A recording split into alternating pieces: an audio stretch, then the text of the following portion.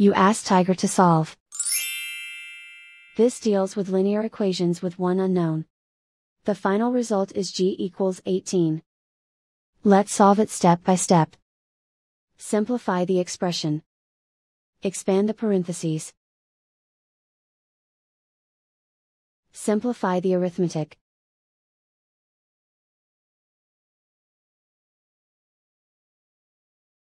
Group all constants on the right side of the equation. Add 46 to both sides.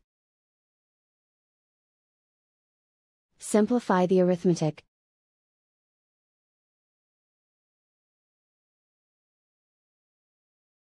Isolate the g.